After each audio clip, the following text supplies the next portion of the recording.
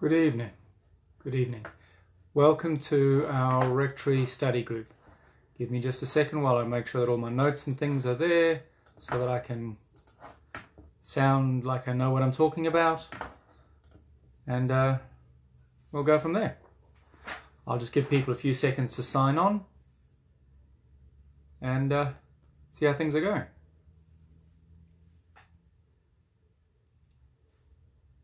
Well, there's one person signed on.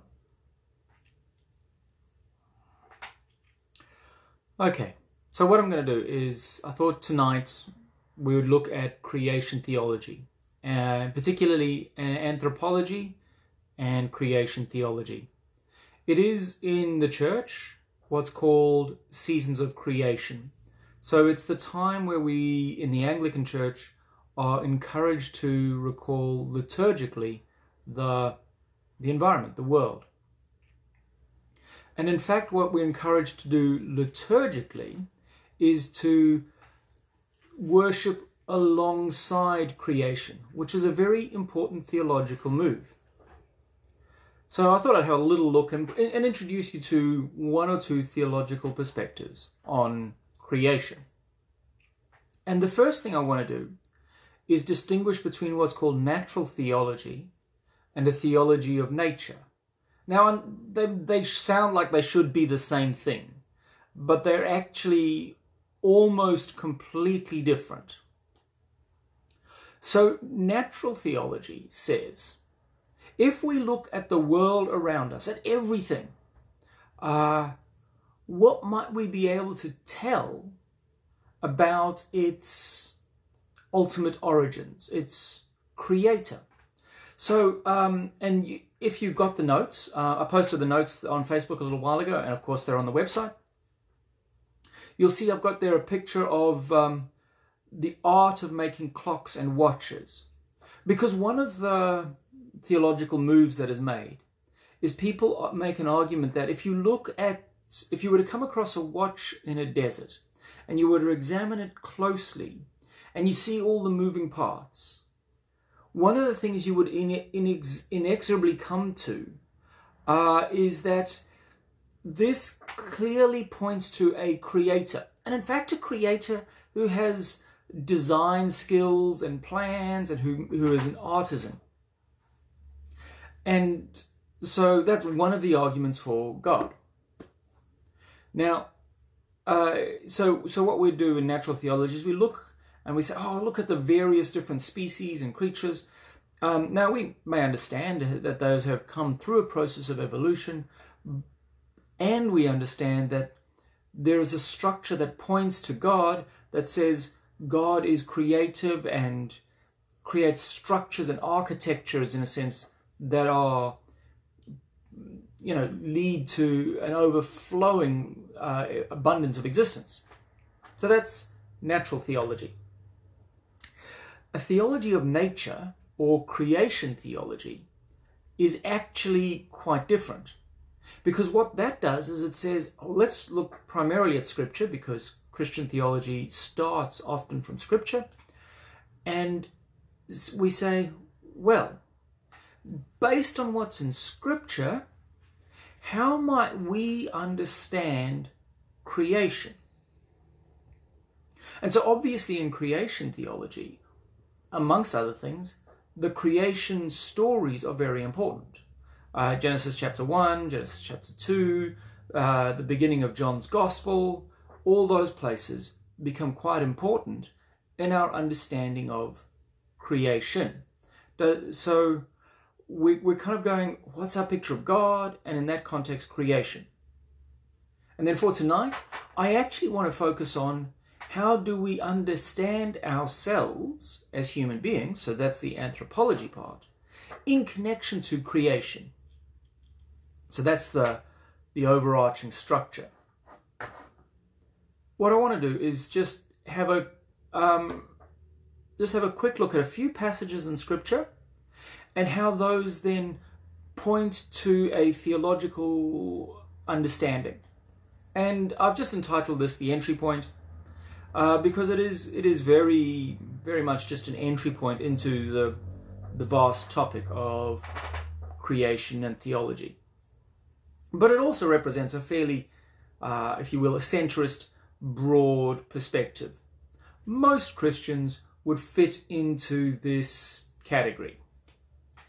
So, uh, if we look at Genesis chapter 2, verse 15, what we get is we get uh, the Lord God took the man and put him in the Garden of Eden to till it and keep it. Okay, now whether you read that as historical or as theological, and I would read it as theological poetry, uh, what you get is you get this idea that God has created uh, human beings in a particular and special responsibility uh, within creation. And part of that responsibility is to cultivate it. Uh, so, so farming is, and when I say farming, good farming is godly work. Uh, it, it's using the earth to provide food for others, and it is in accord with Scripture. To guard it, to use it wisely, um, and it's called stewardship. Uh, and so this would kind of lead to a theology of a stewardship of creation. It's a care of theology on behalf of someone else. Think of a steward in a castle. Think of a steward in a castle, you know, and the king says to the steward, You're going to look after the operational day to day while I go off and do my kingly duties. Stewardship. Well, in a sense, God has given us in stewardship theology uh, stewardship of creation to look after it while God is doing God's godly duties. It's a rough metaphor, forgive me, but you get the idea. Genesis chapter 9, verse 3 Every moving thing that lives shall be food for you. Just as I gave you the green plants, I give you everything. Okay, so now we're actually starting to move in perhaps a slightly different direction. Um, so humans are given everything for their needs.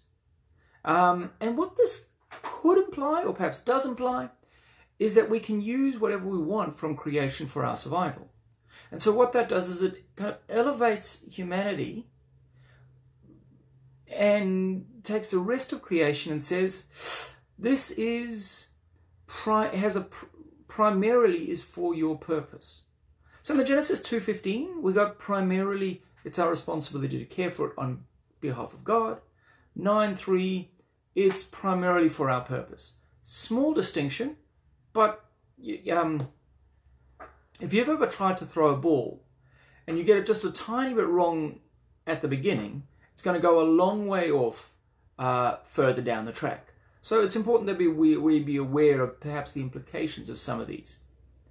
Uh, and then the next verse uh, that I wanted to highlight for you uh, is Psalm 24, verse 1. The earth is the Lord's and all that is in it, the world and those who live in it. Now, you see, this is very much, in a sense, it flattens the picture of creation. In the first two pictures we got, you know, there's a picture of creation and, and, and humanity is elevated above. You know, um, in the first one, we are there to steward it. In the second one, it is there for our use. In Psalm 24, blanket statement everything that is is the Lord's and all that is in it. Us, cats, dogs, mice, birds, trees, the whole lot. So it very much flattens. Uh, now, many people would, would, suggest that that means that uh, it's our responsibility then to, you know, that thing, um, if you borrow something, you should return it in at least as good condition as you borrowed it. If you borrow a car, return it with a full tank of gas those sorts of things.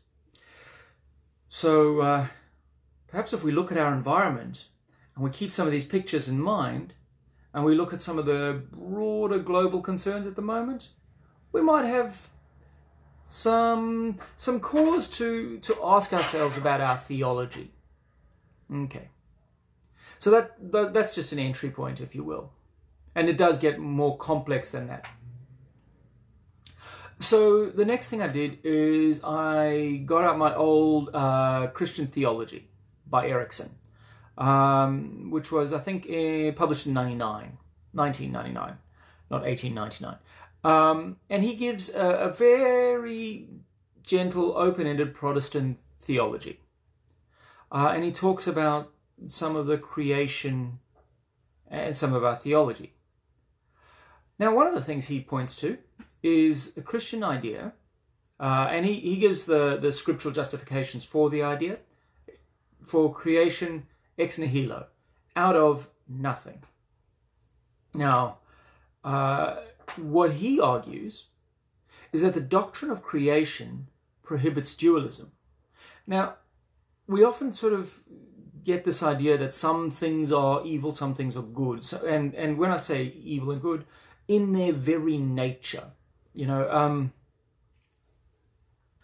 uh, and but a, a doc a good doctrine of creation, which would include the creation of humanity, would suggest that there can be no dualism uh, because everything is created from nothing, which means everything is created exclusively from and by God's agency. And so there's no space for an, an, an intrinsic, in its very nature, darkness to come in. Now, light and dark, as a metaphor, obviously, light and dark just in and of themselves are, are very useful. And that has a theological implication when it comes to our anthropology. You, often get this idea um, presented that when we talk about humanity, uh, we are talking about, you know, human nature. Uh, it's human nature to go to war. It's human nature to to uh, invent weapons. It's human nature, and human nature is often depicted in quite a negative sense. You know, it's, it's human nature to to want to be fabulously wealthy. Is it? I mean, I, I, know a lot of human beings who you know wouldn't mind being comfortable, but fabulously wealthy. Um, and Erickson points out that if we if we accept creation ex nihilo, and we accept that um, God says, you know, looks at all of creation and says it is good, then we have to be very aware, or at least reticent, to to blame evil actions on human nature. Human nature is good. That's what that's what God said in the Bible. There are other questions that need to be answered. Absolutely, creation ex nihilo definitely needs to uh, explore uh, the theology, if you will, of, um, of of evil and things like that. That, but if in, in that theology, the other thing that Erickson points out is we then start to have this, and once again, this is that flattening idea that I pointed to earlier, that there is an interconnectedness of all creation. Now, I mean, I can remember when I was um, younger at school, we, we spoke about the, the food chain, and there's this idea that, you know, um, uh, like ants ate dead animals, and then birds came and ate the ants, then eagles ate the birds, and then snakes ate the, you know, and he worked its way up to usually a lion because I grew up in South Africa. Uh, and then the lion died, and that fed the plants and the ants, and, and it created a chain. These days, kids are taught about a food web, recognizing that it is far more intricate than just a, a circular chain. And there is a theological uh, dimension to that. In that, uh, if we see all things as being created by God, uh, as part of a, a creative act and an ongoing creative act, uh, then we see all things as being connected. And not just in a kind of in a, in a food web sense, but almost in, a, in, in the sense of family. And as soon as you start talking about family and creation, uh, you have to recall um, Francis of Assisi, who is, is, amongst other things, recalled as as preaching to the birds of the air and the and the beasts, and, and, and talking about you know wolf as a brother and, and birds as sisters. Uh, and I thought what I'd do is I would track down a little bit of that So we've got one of the verses in what's called the Canticle of the Sun. Now it's S U N, not S O N. Uh, probably isn't the kind of mistake you'd make in another language. But anyway. And this one is, is attributed to Francis. We praise you for all your creatures, especially for brother Sun, who is the day through whom you give us light. He is beautiful and radiant with great splendor. Of you, Most High, he bears your likeness. Isn't that beautiful? Isn't that wonderful? Um, and and so you can see a, a, spirituality that is born out of a deep theological understanding of the interconnectedness of all creation. Now, I I would like to see a lot more of that. But okay. So I'm going to keep moving on. Just you know, in case in case we get bored or something like that. And I want to move to something that's actually slightly darker. Uh, and, and by darker, I mean less optimistic. Less optimistic. And I was put onto this most recently by the work of an American religious writer and researcher, uh, Tad DeLay, in his book called Against. And what he does is he explores some of the trends uh, that are shaping American, because he is American, culture. And one of the things he does is he works with research from uh, a group that you can access called Pew Research. I used to think it was called Pew Research because all the research I came across it had to do with churches. And so I thought it was, oh, like, it, you know, it's the view from the pew. Uh, no, it's named after somebody Pew, and they do research in a whole range of areas. But there you go. um, they do very good, uh, broad, lots of statistical research. So if you ever want to know about these sorts of cultural trends, one of the questions that comes up that they asked is uh, um, mo- you know expect do you expect Jesus Christ's return to earth? And that that wasn't kind of in an in an end statementy type thing. That was in uh, I think it was within one generation if I recall the, the the page that I got it from correctly. You can jump on and check. Um, and so what you get is some 54% of Protestants said it will probably happen. Um, 32% uh, said it probably won't. Uh, and 15%, I, I, don't know. I mean, and technically, in one sense, we all don't know, do we? But, you know. Uh, but when you kind of start to split that up, you get the white evangelicals saying, with 58% saying it will happen. Uh, and only 27% uh, from mainline Protestant churches. In America, the, um, the Episcopal Church, which is basically the Anglican Church, is considered to be a Protestant tradition. 32% of Catholics said it'll happen, uh, and 20% of unaffiliated uh, Christians said it will probably happen.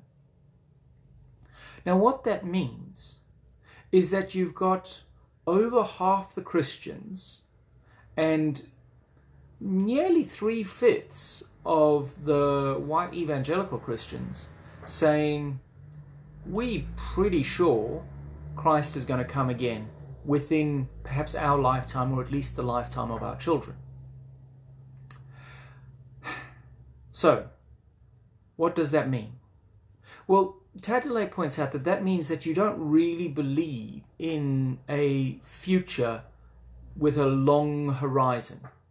Um, you know, uh, you, you, you, you would suggest the Earth has a horizon of say 40 to 60 years, and beyond that, it's no long is no longer time bound.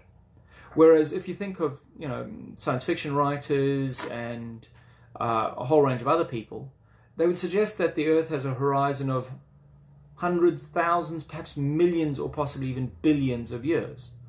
Uh, and so you get a very different horizon of time and a very different situation of ourselves in time. Add to that,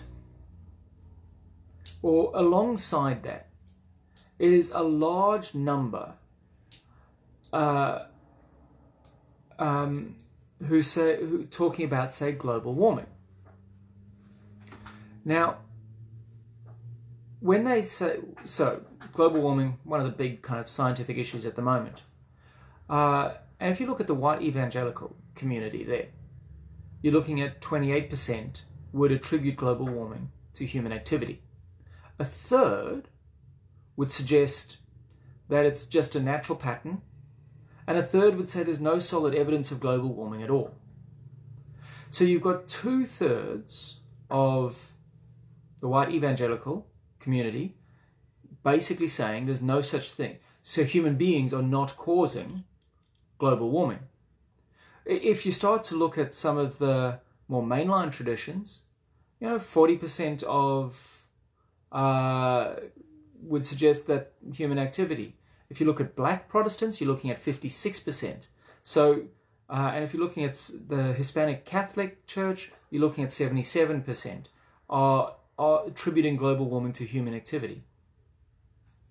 What that means is that if you don't take something like global warming seriously, and you don't take uh, a, theology, a theology that says we have a stewardship responsibility of the earth seriously, and you don't believe in a long term future, then what you can come to is a theology that says the earth is ours to use in whatever way seems fitting to us in this moment. And we don't need to worry about the consequences because there will be no consequences. Jesus comes again in the next 30 or 40 years. Who cares if in two or three hundred years the temperature is up and there would be flooding everywhere? It's not going to happen. And so what you can get is a very much, a much darker theology of creation and how we re- relate to creation. Now, I do want to say, I'm, putting this in there not because it's a dominant view. Uh, it's it's not. Um, even within America, it's it's not the dominant view. Um, but within certain significant influencing places, it is. Uh, does that make sense?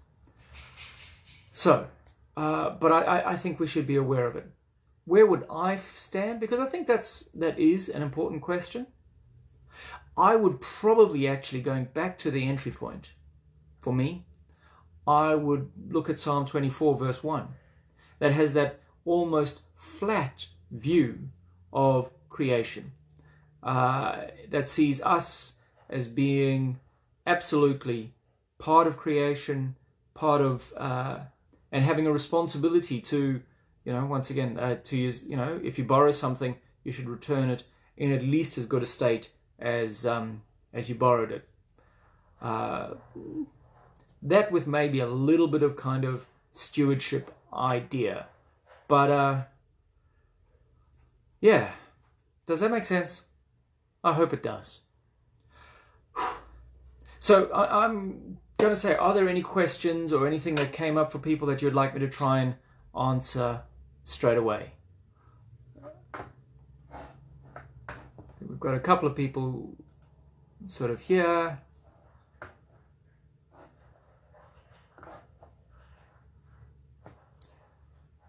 Uh, okay. Oh, thank you, Simon. I'm glad that you found that very interesting.